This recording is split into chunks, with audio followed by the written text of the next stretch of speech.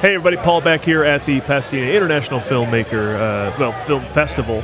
And but so far I haven't met any international filmmakers. I hope to. And you're a, a local at one point uh, here in Pasadena, right? Yes, sir. Yeah, I Matthew? Lived, uh, Matthew McLaughlin. McLaughlin. Yeah. I lived here for uh, seven years in, in good old northern Pasadena. And it inspired a screenplay. And I'm excited to talk to you because a lot of these film festivals, like Pasadena, have a sort of separate screenplay category. Uh, which you are a part of. So you don't have a film here, but you've written a script that has gotten some notoriety. So first of all, how is it recognized? Are there awards? What is the whole screenplay angle of a film festival like this that perhaps people don't know about, like me?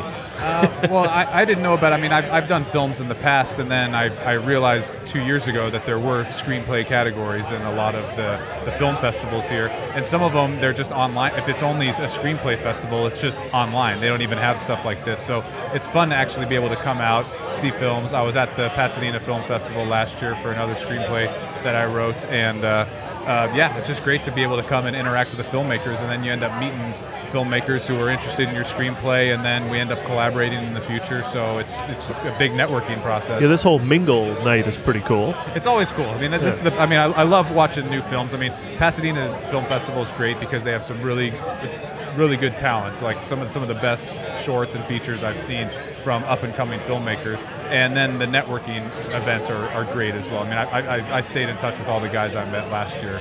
You know, still to this day, I, have been meeting up with them since I've been in town. But it's a it's a really good event. And yeah, these little networking soirees are great. So, what is the name of your script, and how did Pasadena inspire it? The name of the script is Back When, and it's based on a friend of mine's autobiography. And I, his name is Joey Covington, and I met Joey on the bus. We used to both take the bus from Pasadena to Hollywood. We were both working in Hollywood at the time, and he was telling me his story about growing up in Harlem, New York, in the 60s and 70s, and how he had written a manuscript and he was trying to make it into an autobiography. So he let me read the manuscript, and uh, I loved it. And he turned it into a book. It's got publishing and everything now, and I wrote the uh, adapted screenplay for it. Oh, nice. So then, uh, what comes of that? Uh, your involvement of in the film festival, uh, notoriety.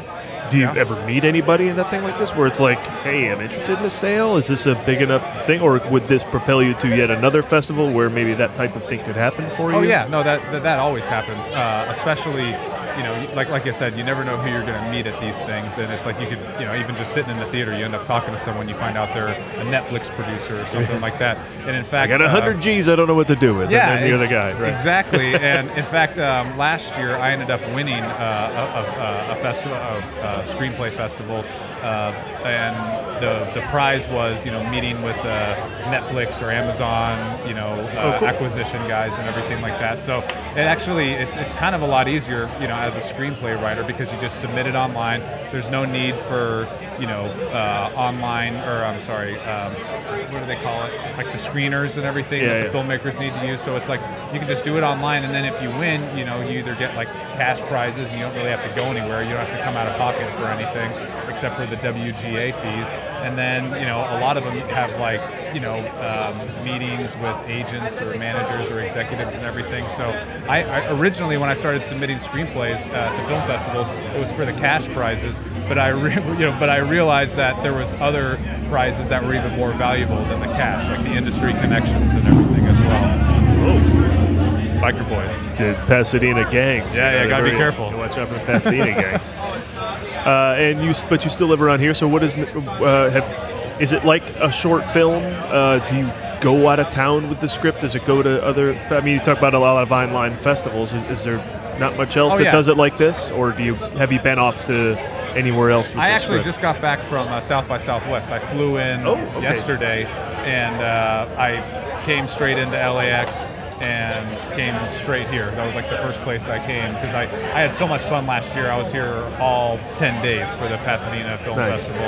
And so I missed the first couple days because I was at South by Southwest and then, you know, made it a point to come in. Did you have a script down there or did you just go see films? No, I actually, uh, I, I went out there because I had friends uh, that live in the area that were working the festival and they were like, hey, we can get you in if you want to come. And I was like, why not? I was at Sundance earlier this year as well net, doing some networking there. So I figured why not hit a couple of the biggest ones. But I got to tell you, Pasadena Film Festival is my favorite one, and I just got back from South by and from Sundance, and this is Okay. by far my favorite one. Yeah. Yeah, I just wondered if that you go on that, you know, because you make a film and then you go on that trek. You're around the country. I'm going to Chicago, then I'm off to Atlanta, or I'm off to D.C. or Seattle, or whatever, and you're traveling around with your film.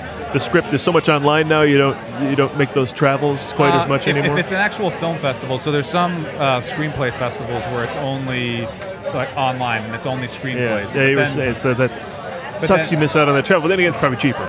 Well, yeah. th- then there's that, but then like there's there's ones like this, or like uh, last uh, um, last year, uh, I went to the Austin Film Festival. It's called the Austin Revolution Film Festival. Oh, yeah, I know that. Yeah, and uh, so I actually went out there because I got nominated for best screenplay or best uh, TV pilot.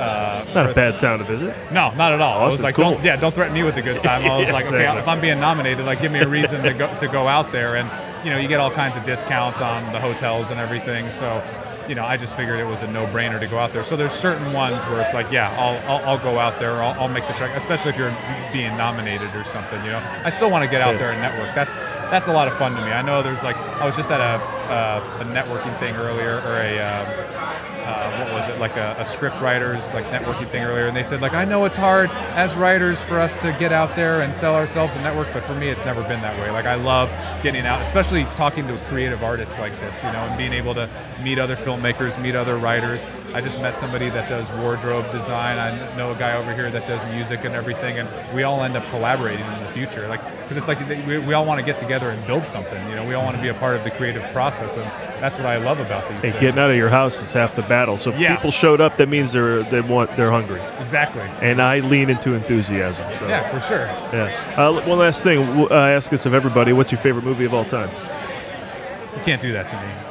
I can do that to anyone I want, All right, Matthew. I'll tell you. I'll tell you the film that inspired me to get into filmmaking, and it was Heat, directed by Michael Mann. Ah, yes. So I was 13 years old when Heat was in the movie theater, and I remember one night I was up late watching Saturday Night Live, I think, and my dad couldn't sleep, and he was like, "You want to get out of here? Like, I want to go see Heat. I want to go see the new Michael Mann movie." I knew nothing about it, and I was like, "Okay." You're 13. I was 13. There's a lot to ask of a 13 year old. Yeah, and it, and it was like 10:30 at night too. So we were going to like the 11 o'clock showing. Like I didn't know this was going to be like a three and a half hour movie or Your whatever. patience is asked of Yeah, and for, so for a 13 year old. but like I was I was fat at 13 years old. I was fascinated with the movie because there was so many characters, so many famous people, so much going on in that story. But I was still able to follow it at such a young age.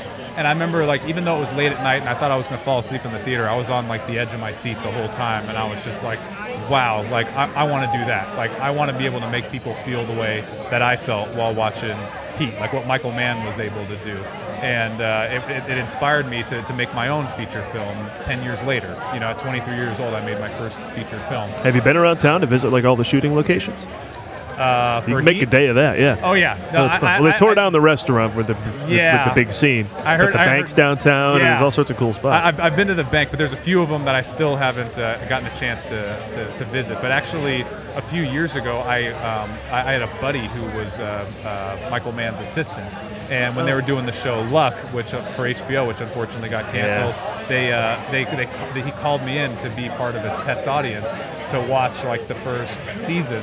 You know, a year before it even came out, and I actually got to meet my hero, Michael Mann, you know, at his offices watching Luck and everything, and it was just an awesome moment, you know. Where's the? Yeah, I feel like there's been a drought in the Michael Mann resume. There really we're has. Due, we're due, aren't we? yeah, For something. I was. I, I- I saw him. uh, He was on um, Adam Carolla's podcast recently, and I was like, "Where? Yeah, like what, what, I, I haven't seen a man flick in Something. a while." And you know, I, I, was. Yeah, he- I remember specifically. I went to see Friday Night Lights, and you know, in, in LA, you get Q and A's with Right. movies a lot. So they were going to have a Q and A with Peter Berg. Michael Mann shows up to moderate Yeah. the Q and A. Peter Berg's like, "How? I, I have questions for you. Yeah. What are you asking me questions for? Like you're Michael Mann. Like he couldn't believe it. You know, that, that's kind of a cool LA thing. you Oh, know? for sure. I think Yeah. they, they work together a lot. They collaborate on Yeah, stuff yeah, absolutely. and but he's just like, I, I should be asking you the yeah, what am, questions. yeah. this is like role reversal. It's crazy. That would be amazing Yeah. to, to have him asking, asking, you know, especially if you look up to him. He's the one asking you questions about your film. That, and I mean, such a technical guy. You know, like everything that he does, it, it A very purposeful director. yeah, and that's a lot of detail. Yeah, and uh, like I said, when when I saw Heat, it just blew my mind. I was just blown away at what, what he was able to do with, with, with that whole collaboration, you know, and it was uh, one of my favorite films. So Cool. yeah, I guess that's my favorite one. All right, that's a good call. Yeah, you're not going to run with that. And I think it's the first time I've heard it in all my interviews. Other Really? people have mentioned that. Yeah, for sure. Yeah, well, I can guarantee it because I remember the last time somebody brought it up, it was playing down at the New Beverly. Like Oh, that cool. next week, I'm like, we got to go. I mean, we never made it, but uh, I'm sure he probably went. Cause Oh, yeah. to see that on big screen again. I'd, I'd go see fun. that again on the big screen. All right, well, thank Matthew. Uh, best of luck with the script and Thank you, wherever it goes from here. And sounds like you're super prolific, so good luck with whatever it is you're back here again with next year. Appreciate that. Thanks so much. And we'll be back again with more filmmakers.